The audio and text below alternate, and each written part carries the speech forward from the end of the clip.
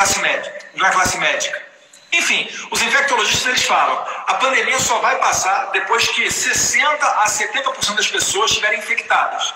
Então, meus caros, dos 200 milhões de brasileiros, 140 milhões vão pegar o Covid. Desses 140 milhões, é melhor que os jovens peguem primeiro, que tem um sistema imunológico maior, né, mais em dia. Então tem que soltar os jovens na rua para voltar a trabalhar, seguros mais idosos.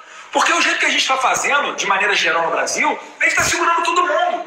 E todo mundo já está desesperado. Então depois vai todo mundo para a rua ao mesmo tempo.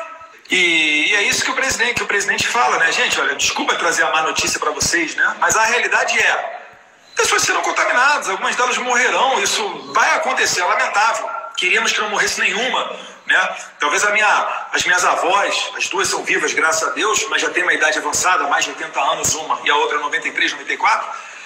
É, pode ser que pegue e venha a falecer, mas o que, que, a gente, que, que a gente pode fazer?